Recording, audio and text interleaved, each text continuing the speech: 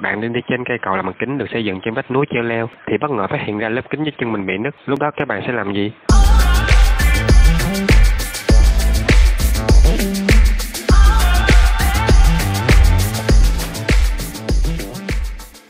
Vào ngày mùng 10 Tết nhâm dần vừa rồi, vợ chồng anh V đã có chuyến du lịch đến Lai Châu, Lào Cai.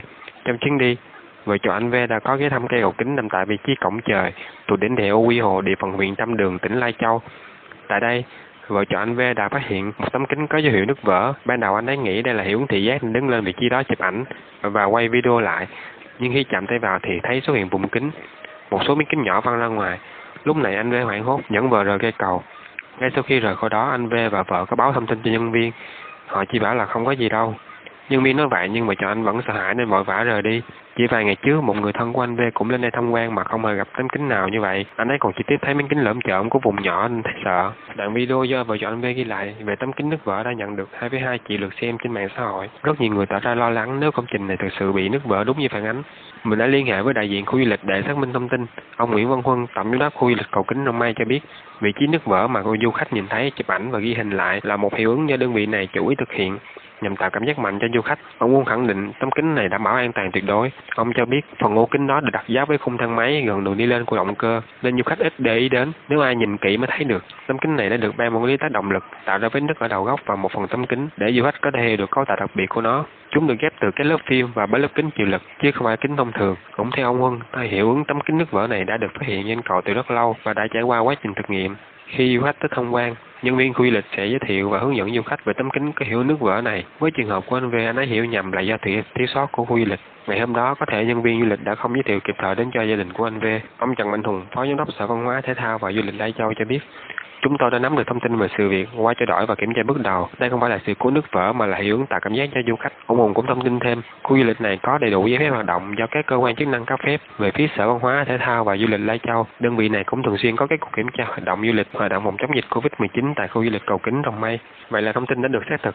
Đây chỉ là một hiệu ứng do khu du lịch thực hiện để tạo cảm giác mạnh cho du khách. Ngoài ra, sau các phản ánh trên mạng sắp tới có thể khu du lịch sẽ tiến hành thay thế ổ kính này bằng một ổ kính mới hoàn toàn. Nên các bạn cứ yên tâm đến đây để trải nghiệm nhé. Thông tin thêm dành cho các bạn yêu thích du lịch và khám phá. Cầu kính Đồng Mai đi vào hoạt động từ ngày 16 tháng 11 năm 2019, nằm trên đỉnh đèo Quy Hồ, là một trong tứ đại đỉnh đèo của núi rừng Tây Bắc, cùng với Mã Bí Lèn, tỉnh Hà Giang, Kho Phạ, tỉnh Yên Bái, Pha Đinh nằm giữa tỉnh Sơn La và Điện Biên. Đây là bốn cung đường đèo dài, hiểm trở vùng vĩ ở khu vực Tây Bắc, hấp dẫn những bạn ưa mạo hiểm. Cầu kính Đồng Mai là một trong những công trình nổi bật của khu du lịch sinh thái nghỉ dưỡng thác trắng cổng trời. Cầu bắt đầu từ đèo Ô Hồ, ôm sát vách núi Hoàng Liên Sơn với độ cao 1.000m so với vách núi và 2.200m so với mực nước biển, thuộc khu du lịch Rồng Mây, nằm trên quốc lộ 4D xã Tân Bình, huyện Tam Đường, tỉnh Lai Châu, cách thị trấn Sapa khoảng 17 km và cách treo Phan Xipang khoảng 7 km về phía Lai Châu, cách trung tâm huyện Tam Đường khoảng 30 km.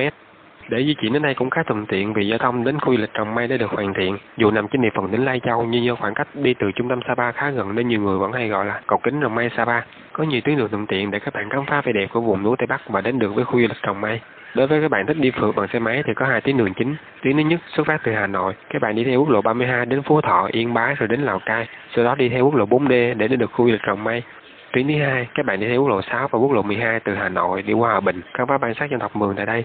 Tiếp đến là Sơn La, tìm hiểu nét sinh hoạt của đồng bào dân tộc Thái, ghé thăm chiến trường Điện Phủ. Từ đây có thể tiếp tục hành trình đến khu du lịch Rồng Mây ở Lai Châu. Đối với những bạn lựa chọn di chuyển bộ ô tô có thể đi theo tuyến đường cao tốc Nội Bài Lào Cai, sau đó đi theo quốc lộ 4D để đến được khu du lịch rất thuận tiện và nhanh chóng. Đến đây các bạn sẽ có những trải nghiệm hết sức thú vị như đi thang máy trong lòng núi, săn mây, chơi các trò chơi mạo hiểm và chụp ảnh cùng những khung cảnh núi non hùng vĩ và đẹp và nên thơ. Cầu kính Rồng Mây Lai Châu được mệnh danh là đường lên tiên đỉnh, bao gồm phần lối đi dẫn vào bắt đầu từ lòng núi và sau đó đi lên hệ thống thang máy dài 70 m, thiết kế tổng thể dài đến 300 m có hình tròn, bốn hành lang tả đi bốn hướng, trong đó có ba hành lang này làm bằng kính và một hành lang dẫn các bạn đến khu vực trò chơi mạo hiểm. Cầu vươn ra vách núi 60m tạo cảm giác như lơ lửng trên không trung giữa lối đi rộng 5m, nối buộc thang máy vào vách núi đá trên độ cao 2.200m so với mặt nước biển và 548,5m so với độ cao khe núi dãy Hoàng Liên Sơn. Toàn bộ mặt cầu là bằng kính chịu lực trong suốt được lắp ghép bởi ba lớp kính, mỗi lớp dày 2 cm và kết dính với nhau bằng một loại keo đặc biệt. Tổng độ dày mặt kính hơn 7 cm, có khả năng chịu lực và an toàn cao. Theo chủ đầu tư, tại một công trình này có thể chịu được sức nặng tới 3.000 người cùng lúc. Tuy nhiên, để đảm bảo an toàn, đơn vị này chỉ cho phép tối đa 500 khách cùng đến cầu. Đứng trên cầu, các bạn có thể chứng kiến độ sâu hun hút bên dưới qua lớp kính trong suốt, hay phóng tầm mắt ra xa thưởng ngoại khung cảnh thiên nhiên hùng vĩ và cảm nhận được gió thổi ào ạt trên đỉnh đèo Ô Quy Hồ. Hay những ngày mây nhiều với độ cao này, bạn hoàn toàn có thể trải nghiệm cảm giác đi bộ trên mây, không phải nơi đâu ở Việt Nam cũng có. Công trình gồm cả hệ thống thang máy lồng kính và cột kính được thiết kế và xây dựng theo chuẩn quốc tế nhằm đảm bảo an toàn trong mọi điều kiện, nên các bạn hoàn toàn có thể yên tâm khi đi trải nghiệm cảm giác mạnh tại đây. Buồng thang máy có sức chứa 30 người với tốc độ di chuyển không quá nhanh, đưa các bạn xuyên qua các tầng mây, thỏa sức chiêm ngắm vẻ đẹp hùng vĩ của núi rừng và cảnh quan. Theo ước tính, mỗi giờ thang máy có thể vận chuyển 1.200 khách du lịch. Công trình này là con đường nhanh nhất đưa các bạn lên khu vui chơi giải trí trên đỉnh núi. Bạn chỉ mất 1,5 phút để lên đỉnh núi thay vì phải đi đường bộ mất ít nhất 3 tiếng đồng hồ. Khu du lịch Trồng Mai là một khu tổ hợp du lịch giải trí với quy mô lớn nên có rất nhiều hoạt động thú vị tại đây, bao gồm các hoạt động như là du lịch ngắm cảnh, du lịch mạo hiểm, du lịch sinh thái, nghỉ dưỡng với các hệ thống công trình đa dạng như nhà hàng, khách sạn, hệ thống thang máy, cầu kính, rồng Mai, bungalow nghỉ dưỡng, bể bơi. Ngoài tham quan cầu kính, các bạn có thể tham gia nhiều hoạt động mạo hiểm khác như nhảy bungee, trừ zip line, dù lượn, leo núi, vào xe mặt trời.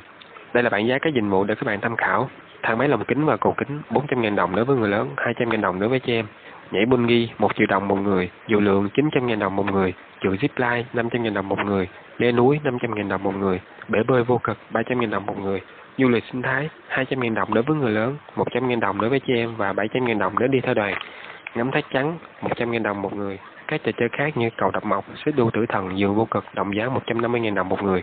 Ngoài ra, nếu các bạn nào chưa muốn quay về ngay mà muốn được ở lại trải nghiệm cảm giác ngủ trên độ cao 2.200m và ngắm bình minh trên cầu vào buổi sáng sớm thì có thể thuê những căn bungalow ngay tại khu du lịch Trồng Mây với mức giá chỉ từ 2 triệu tư một căn theo tiêu chuẩn 3 sao. Nếu may mắn đi vào các dịp khuyến mãi thì giá phòng sẽ được giảm đến 10%, chỉ còn 1 triệu 2 một căn là được miễn phí thêm bữa sáng cho hai người nữa nhé. Sau đây mình xin chia sẻ cho các bạn một số kinh nghiệm khi đi du lịch tại cầu kính Rồng Mây. Thời gian mở cửa của khu du lịch là từ 7 giờ tới 17 giờ hàng ngày. Nếu các bạn di chuyển bằng xe máy đến khu cầu kính thì thay lái vai cứng vì đường đèo, dốc nhiều khúc cua và có rất nhiều phương tiện giao thông khác như xe khách, container nên khá nguy hiểm. Tham quan cầu kính Đồng Mai nên chú ý vào thời tiết, hạn chế đi vào những ngày nhiều sương mù và ẩm ướt bởi tầm nhìn rất hạn chế. Khi lên cao, áp suất sẽ thay đổi. Chính vì thế, những bạn nào huyết áp thấp hoặc sợ độ cao thì không nên đi. Tham quan cầu kính Đồng Mai bắt buộc phải đeo bao chân để không làm xước kính. Hơn nữa cũng tăng độ ma sát để đảm bảo bạn tránh trượt ngã. Các lan can hành lang ở khu cầu kính không quá cao nên các bạn không nên đi sát khu vực này sẽ rất nguy hiểm. Cầu kính Rồng Mây là cây cầu kính thứ hai ở Việt Nam sau cầu kính tình yêu ở Mộc Châu, Sơn La, được hoàn thành vào ngày 28 tháng 4 năm 2019. Nhưng xét về quan cảnh thiên nhiên lẫn quy mô xây dựng thì cầu kính Rồng Mây thực sự ấn tượng hơn nhiều. Đây cũng là cây cầu kính cao và dài nhất ở khu vực Đông Nam Á tính đến thời điểm hiện tại. Hứa hẹn sẽ là điểm đến thú vị trên hành trình của những người yêu du lịch tại Bắc. Cảm ơn các bạn đã xem hết video của ngày hôm nay. Nếu các bạn thấy hay thì nhớ like, nhớ nút đăng ký và chia sẻ cho các bạn bè mình cùng xem với nhé. Hẹn gặp lại các bạn trong những video lần sau.